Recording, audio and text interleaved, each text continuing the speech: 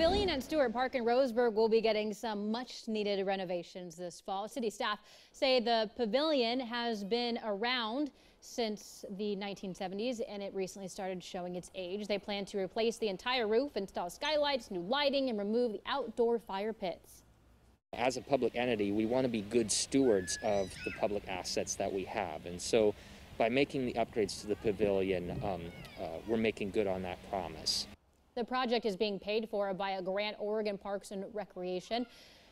Demolition will begin on Monday. The project is expected to be finished up by the end of the month. Members